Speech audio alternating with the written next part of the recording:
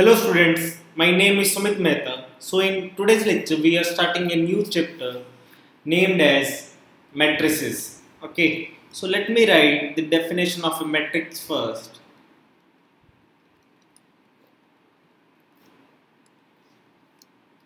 A matrix is an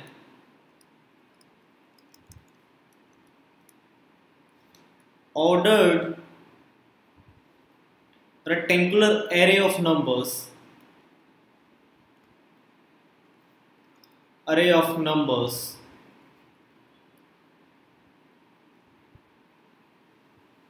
Or functions.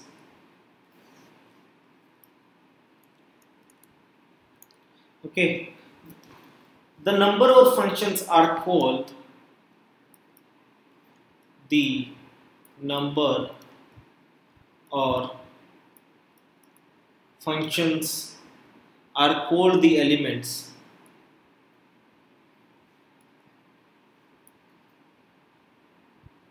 Are called the elements or the entries of the matrix. Or the entries of the matrix. Okay student. So matrix can be of like this. 1 0 0 1 this is a this is root 3 2 1 1 2 root 3 okay. So it can be of any of the types. Okay. Now I will tell you how what is the order of a matrix okay these are the some basic terminologies uh, related with the matrices. A matrix having m rows and n columns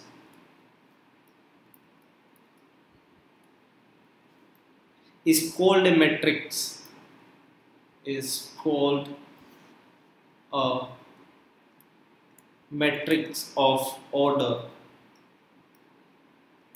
m cross n. Okay so let me draw it. Okay so this element is a11 where first one denotes to let's say it is like amn where first m denotes the row number and n denotes the column number. So it is 1 1 it is 1 2 row 1 column 2 1 3 so like this. Up to n. These are the elements of row 1 so that is why the first number here is 1 always and the second number goes up increasing.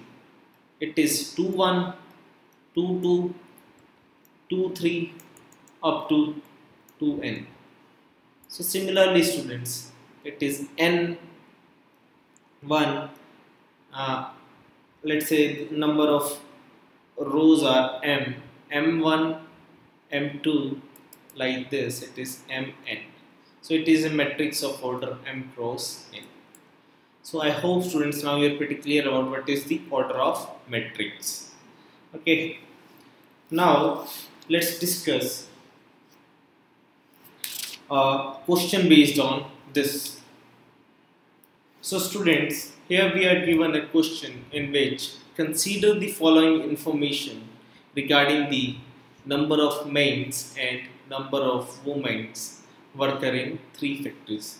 So in the factory number one, we are given men's are 30 and women are 25.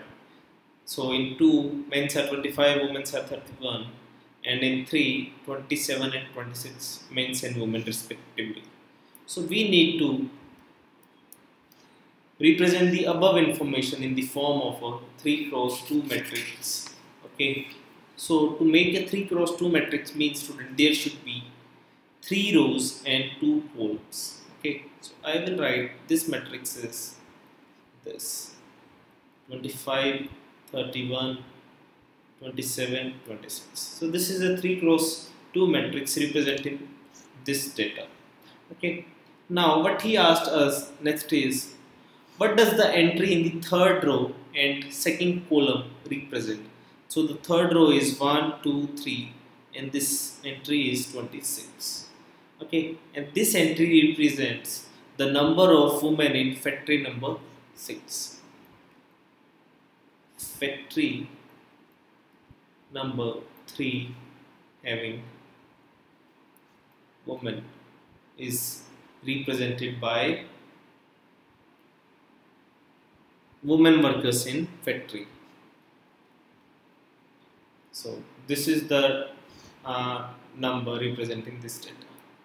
Okay so i hope students now you are pretty clear about what are matrices and how we represent the matrix in this form and what is the order of matrix okay and in the next lecture student we will discuss type of matrices.